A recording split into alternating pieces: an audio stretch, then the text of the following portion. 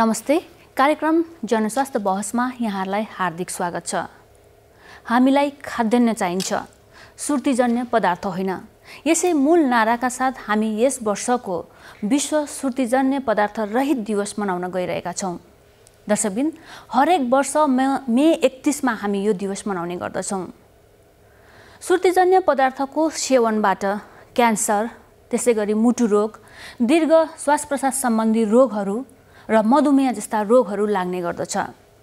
पछिल्लो तथ्याङ्क अनुसार नेपालमा सुर्तीजन्य पदार्थको सेवनबाट करिब सत्ताइस हजार मानिसको मृत्यु हुने गरेको पाइएको छ र विश्वव्यापी रूपमा हेर्ने हो भने पनि करिब अस्सी लाख मानिसहरूको मृत्यु सुर्तीजन्य पदार्थको सेवनबाट हुने गरेको पाइएको छ। जसमध्ये बाह्र लाख मानिसको मृत्यु अरूले सेवन गरेको सुर्तीजन्य पदार्थको धुवाबाट हुने गरेको पाइएको छ। दर्शकबिन आजको यस जनस्वास्थ्य बहस कार्यक्रममा हामी यस्तै महत्त्वपूर्ण विषयमा चर्चा गर्न गइरहेका छौँ र सन्दर्भलाई जोड्दैछौँ विश्व सुर्तीजन्य पदार्थ रहित दिवसलाई। विश्वव्यापी रूपमा हेर्ने हो भने पनि अब सुर्तीजन्य पदार्थको सेवनबाट चाहिँ जुन एउटा नसर्ने रोगहरूको एउटा महामारी भित्रै रहेको छ त्यो चाहिँ जनस्वास्थ्यको निम्ति एउटा चुनौती बन्दै गएको छ। र अर्कोतर्फ हेर्ने हो भने चाहिँ एउटा खाद्यान्न सङ्कट पनि यसले निम्ताइरहेको छ। सुर्तीजन्य पदार्थको जुन एउटा खेती गरिन्छ होइन त्यसबाट चाहिँ माटोको उर्वरा शक्तिमा पनि ह्रास आउने भएको र यसले धेरै जमिनहरू ओगट्ने भएको र पछिल्लो समयमा चाहिँ अब हामीले यहाँ क्लाइमेट चेन्जका कुराहरू गरिरहेका हुन्छौँ होइन। त्यस्तै गरेर गरेर चाहिँ महामारी कोभिड नाइन्टिनको महामारी हामीले अनुभव गरिसकेका छौँ र अन्य युद्ध यी विभिन्न कारणहरूले गर्दा चाहिँ यसै पनि खाद्यान्न सङ्कट बढिरहेको अवस्थामा चाहिँ होइन यो सुर्तीजन्य पदार्थको कल्टिभेसन भनौँ न यसको खेतीबाट चाहिँ झन् यसले चाहिँ खाद्यान्नमा सङ्कट पार्ने हो कि भन्ने एउटा त्रास चाहिँ विश्वव्यापी रूपमा पनि फैलिरहेको यो अवस्थामा चाहिँ के भन्न चाहनुहुन्छ? थर्टी फर्स्ट मे चाहिँ एभ्री इयर एउटा यो टबाको कन्ट्रोलको लागि चाहिँ वर्ल्ड नो टबाको डे भनेर कमिमोरेट गरिन्छ र हरेक वर्ष बेग्ला बेग्लै नारा को साथमा यो कमिमोरेट गरिन्छ र यसपालि चाहिँ नि ग्रो फुड नट टबाको भनिएको छ। यो यसको बेसिकली टार्गेट अडियन्स चाहिँ को हो भन्दाखेरि फार्मर्सहरू हो र गभर्मेन्टलाई पनि अल्टरनेटिभ पोलिसिजहरू सब्सिडिजहरू ल्याउनुको लागि हो। जस्तो अब अहिले चाहिँ हामीले we talking about under nutrition we talking about over nutrition होइन? वी टकिङ अबाउट फुड सिक्युरिटीको कुराहरू। र यो नाराले चाहिँ नि गभर्मेन्टमा जस्तो सस्टेनेबल फुड अल्टरनेटिभ फार्मिङ के? जुन फार्मर्सहरूको लागि चाहिँ नि टबाको फार्मिङ डिस्करेज गर्ने र अल्टरनेटिभ फार्मिङ चाहिँ नि गर्नको लागि जसले चाहिँ न्युट्रिसियस फुड प्रोडक्सन होस् फुड इन्सिक्युरिटीको कुराहरूलाई एड्रेस गरियोस् भन्ने नाराको साथ चाहिँ आइएको हो। अब विश्वव्यापी रूपमा हेर्दाखेरि चाहिँ around three point five million hectare land चाहिँ यो टबाको फार्मिङले यु नो युटिलाइज गरेको छ। अब यहाँले भनिहाल्नुभयो यसको एकदमै धेरै नेगेटिभ इम्प्याक्ट छ। अनि नेपालमा चाहिँ हामीले यसको तथ्य खोज्न हामी खोज्यौँ तर ministry of agriculture livestock डेभलपमेन्टमा पनि यसको खासै कुनै डेटा पाइएन। नेपालमा चाहिँ कुनै कुनै ठाउँ बाहेक त्यस त्यस्तो ऱ्याम्पेन्ट चाहिँ छैन जुन इन्डियामा अथवा अरू ठाउँहरूमा छ नेपालमा चाहिँ छैन। तर ह्याभिङ सेट द्याट कि यो सुर्तीजन्य को सुर्तीको खेती चाहिँ नि रोक्नुपर्छ र यसको अल्टरनेटिभ फार्मिङको चाहिँ सरकारले नीतिहरू चाहिँ बनाउनुपर्छ। धुम्रपान तथा सुर्तीजन्य पदार्थ पदार्थको सेवन जो चाहिँ गुटखादेखि लिएर होइन एकदम धुम्रपान चुरोट खैनीदेखि लिएर अन्य सिगारसम्म पर्छ भनेर यहाँले नै भन्ने गर्नुहुन्छ होइन। यसको सेवनबाट उत्पन्न हुने रोगहरू नसर्ने रोगहरू र त्यसमा पनि विशेष गरी अझ क्यान्सरको कुरा गर्ने हो भने त लङ्स क्यान्सर फोक्सोको क्यान्सरको चाहिँ एकदम भयावह अवस्था छ। तथ्याङ्कलाई तुलनात्मक हेर्ने रूपमा हेर्ने हो भने पनि दिन प्रतिदिन बढिरहेको छ होइन। के भन्न चाहनुहुन्छ यसले चाहिँ कस्तो अवस्था निम्ताइरहेको छ जनस्वास्थ्यको निम्ति? सुर्तीजन्य पदार्थको सेवनले फोक्सोको क्यान्सर मुखको क्यान्सर हुन्छ भन्ने प्रायः सबैलाई थाहा छ। तर धेरैलाई यो थाहा छैन कि यो सुर्तीजन्य पदार्थ सुर्तीजन्य पदार्थ भन्नाले चुरोट खैनी धुवा भएको टोबा यो हाम्रो हुक्का पाइप सबै आउँछन् भने गुटका पान पराग बिना धुवाको पनि यसको सेवन हुन्छ। कतिले त नाकमा नस हाल्छन् कतिले त मसरी भनेर दाँत माच्छन् टोब्याकोले दाँत माच्छन् यसको प्रयोग धेरै छन्। यसले चाहिँ फोक्सो र मुखको मात्रै होइन कि शरीरको टाउकोदेखि खुट्टासम्म जतिपय अङ्गमा क्यान्सर त सबै अङ्गमा हुनसक्छ। सबै क्यान्सरको प्रमुख कारक तत्त्व भनेको सुत्तिजन्य पदार्थ हो। र साना साना कुरामा हामीले ध्यान दिँदैनौँ जस्तै सानो उमेरमा कान कम सुन्ने आँखा चाँडै नै मतलब अन्धोपन हुँदै जाने छालाहरू उमेरमै चाउरिएर जाने हड्डीहरू पाल पाल भने हड्डी सूक्ष्म सूक्ष्म पाल भएर अस्टियोपोरोसिस भन्छौँ। भकानिएर अब त्यो फुटेर जान सक्ने सम्भावना त्यसपछि आएर दाँत कति नराम्रो हुन्छ? दा चुरोट सेवन गर्ने मान्छेहरूको खैनी सेवन गर्ने मान्छेहरूको। भन्नाले प्रत्यक्ष रूपमा यसको हानि नै हानि छ। टाउकोदेखि खुट्टासम्म जतिपय अङ्ग छन् सबैमा नकारात्मक गर्ने एउटै पदार्थ हो त्यो शुद्धिजन्य पदार्थ। जस्तो तथ्याङ्कले नै भने अनुसार हेर्ने हो भने पनि अब जनसङ्ख्याको करिब उन्तिस प्रतिशतसम्मले चाहिँ सुर्ती सेवन गर्छन् भनिन्छ नेपालमा पनि होइन? र एउटा समूहगत रूपमा उमेरको हिसाबले हेर्ने हो भने चाहिँ युवा अवस्थाबाटै सुरु भएको। या भनौँ युवा अवस्थाबाटै चाख्ने हिसाबले सुरु गरेको चिजलाई लत लागेको या भनौँ कुलत भएको भन्ने अवस्था पनि यहाँले भन्ने गर्नुहुन्छ। के पाउनु भएको छ यहाँले चाहिँ? एकदम सही कुरो हो। कुनै पनि मान्छेले धुम्रपान या शुद्धिजन्य पदार्थ अलिक प्राउड भएपछि सुरु गर्दैन। जस्तै अहिले मैले मेरो एजमा चाहेर पनि सुरु गर्दिनँ। गरे पनि छैन गर्नु पनि सकिँदैन। यो एज टिन एजमै सुरु गरिन्छ। किनभने टिन एजमा एउटा धेरै नै त्यहाँ प्रलोभनहरू देखाइन्छ सेलिब्रिटीले खाएको म किन नखाने मेरो बुवाले खान्छ म किन नखाने मेरो हेड सरले खानुहुन्छ म किन नखाने भनेर यो सुरुवात टिन एजमा हुन्छ र टिन एजको अर्को दुर्भाग्य के छ भने टिन एजमा धुम्रपानको कुलत लागेपछि त्यो लङ टर्मसम्म जान्छ। भन्नाले यो सरी टु से यो धुम्रपान सम्बन्धी फ्याक्ट्रीहरूले नि टार्गेट गर्ने पनि टिन एजलाई नै हो। र शुद्धजन्य पदार्थको असर आजको आजै आउँदैन। हजुर। अलिक ढिलै आउँछ तर आउँछ। अब यहाँले भन्नुभयो क्यान्सर। क्यान्सरकै कुरा गर्दा शुद्धिजन्य पदार्थ सेवन गर्नेलाई लङ क्यान्सर हुने सम्भावना नब्बे प्रतिशतभन्दा बढ्ता हुन्छ भने अपवादमा दस प्रतिशत पनि परिन्छ। त्यो कहाँ परिन्छ? हाम्रो भाग्य हो। तर सम्भावना चाहिँ धेरै नै छ। धुम्रपान तथा श्रुतिजन्य पदार्थको सेवन भन्ने बित्तिकै चाहिँ यो चाहिँ एउटा हाम्रो जीवनशैलीसँग सम्बन्धित रह्यो र हाम्रो आनी बानीसँग सम्बन्धित रहेर आयो। डक्टर भक्तलाई मैले सोध्न चाहेँ जस्तै आनी बानी जीवनशैलीसँग सम्बन्धित रहेर र धुम्रपान सम्बन्धीको जनचेतना सम्बन्धीका कार्यक्रमहरू चाहिँ के कस्ता छन् मैले बुझ्न चाहेँ। श्रुतिजन्य पदार्थ नियन्त्रण र रोकथामको चाहिँ राष्ट्रिय स्वास्थ्य शिक्षा सूचना सञ्चार केन्द्र जुन स्वास्थ्य तथा जनसङ्ख्या मन्त्रालय अन्तर्गत छ त्यो चाहिँ फोकल पोइन्ट पनि भएको हुनाले योसँग सम्बन्धित सबै कामकाजहरू चाहिँ यो केन्द्र अन्तर्गत पर्ने गर्छन्। र त्यसमा चाहिँ हामीले मुख्य कुरा अब यसको रोकथाम र नियन्त्रणको लागि मुख्य कुरा चाहिँ कानुनको कार्यान्वयनमा चाहिँ हामीले जोड दिएका हुन्छौँ होइन? नेपाल श्रुतिजन्य पदार्थ नियन्त्रण र नियमनका विभिन्न ऐन नियमावलीहरू निर्देशिकाहरू जारी भएका छन् विभिन्न समयमा। त्यसको चाहिँ अब तिनैवटै सरकारमा त्यसको कार्यान्वयनको स्थिति के छ र त्यो कार्यान्वयन गर्ने र गराउने सन्दर्भमा चाहिँ विभिन्न समयमा पैरवीहरू चाहिँ गर्ने गर्छौँ। हामीले सजिलो तरिकाबाट जुन व्यवहार परिवर्तनका कुरा गर्छौँ अरू स्वास्थ्य जुन स्वस्थकर व्यवहार परिवर्तनमा प्रयोग हुने खालका चाहिँ व्यवहार परिवर्तन आम संसारका कुराहरू छन् त्यो ठ्याक्कै चाहिँ लागु हुँदैन होइन? त्यसले त्यो जत्तिकै प्रभावकारी चाहिँ हुँदैन।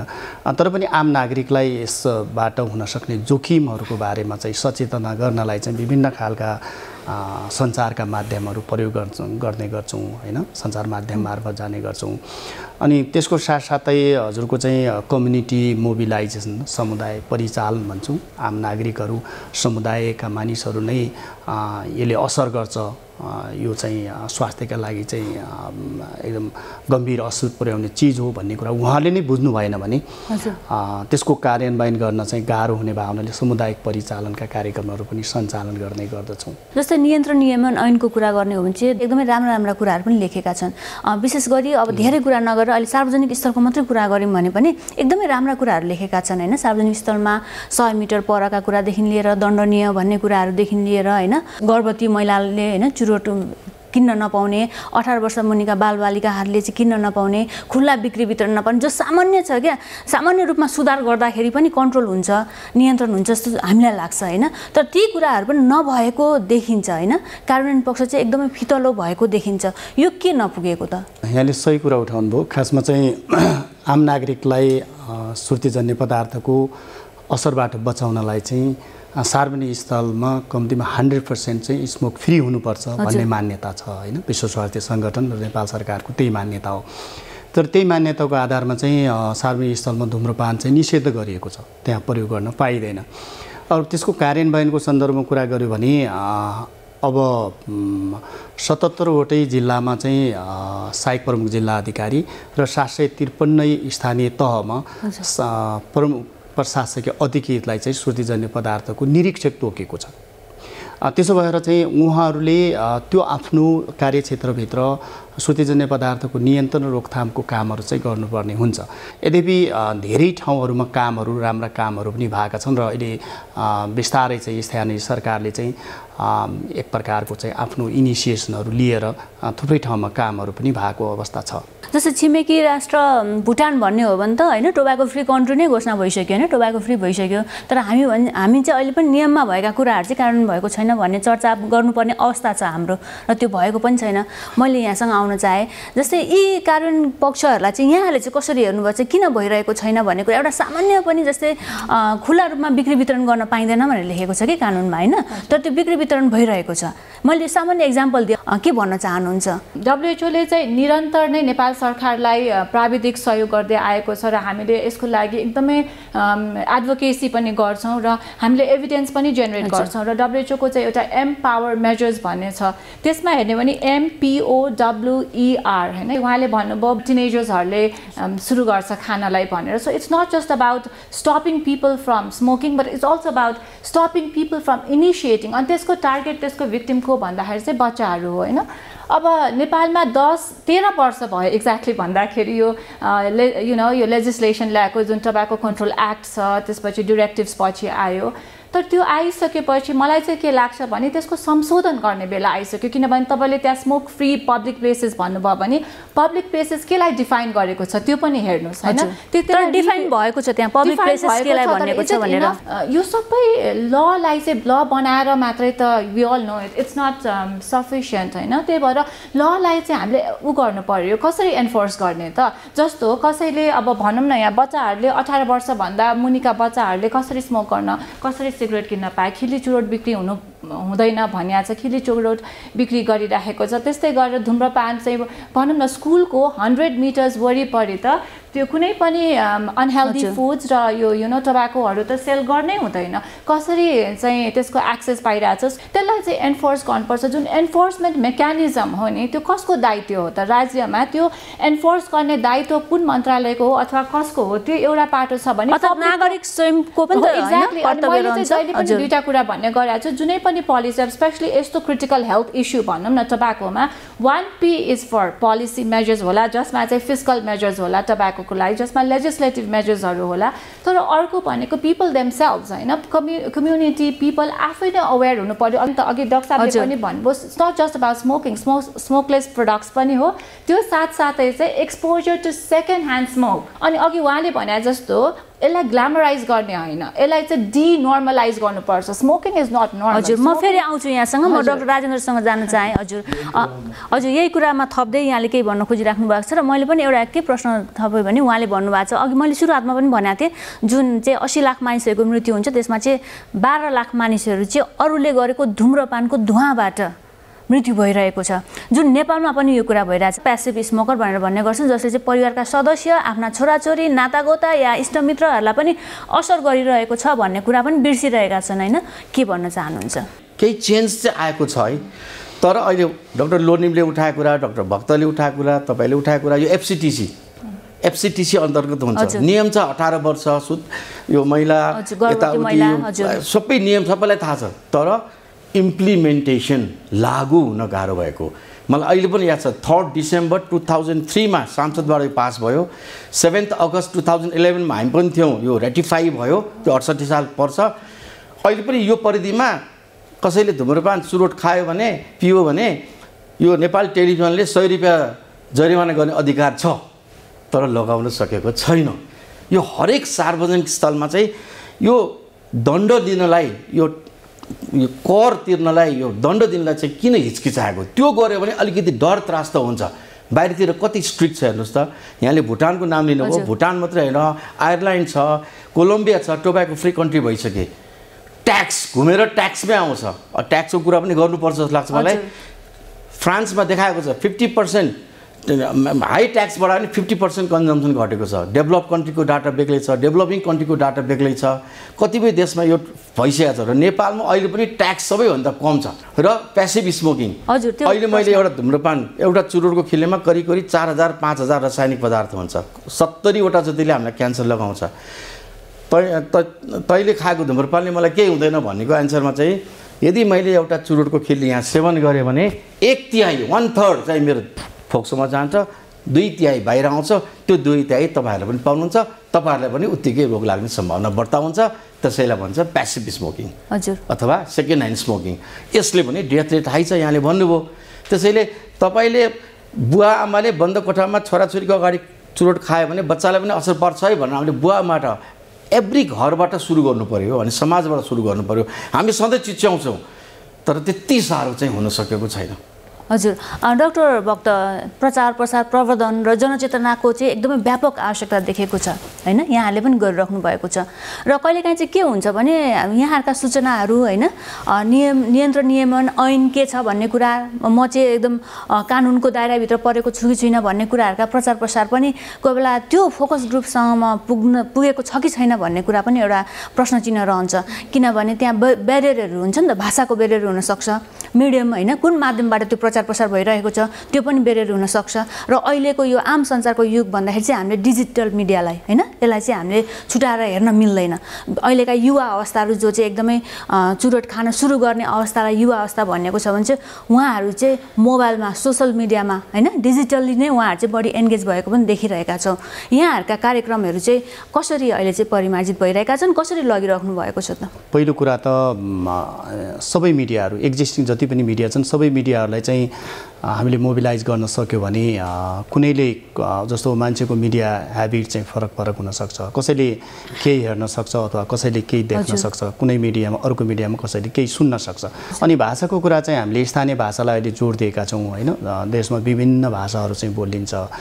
अब मध्य प्रदेशको लागि चाहिँ एउटा भाषा हामीले चुज गर्छौँ भने अर्को चाहिँ कर्णालीमा बोलिने अथवा चाहिँ हजुरको सुदूरपश्चिममा बोलिने भाषाहरूमा पनि हामीले चाहिँ त्यसलाई चाहिँ भाषा विभिन्न भाषामा चाहिँ डबिङ गरेर म्यासेजहरू चाहिँ पठाउने गर्छौँ।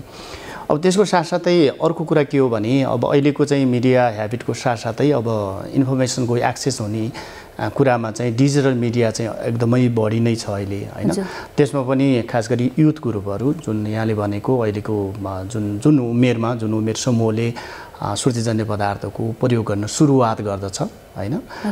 र त्यो उमेर समूहहरूले चाहिँ सबभन्दा बढी सोसल मिडियाहरू पनि हेर्ने भावनाले हामीले सोसल मिडिया फ्रेन्डली हुने गरी म्यासेज र कन्टेन्टहरू चाहिँ डेभलप गर्छौँ।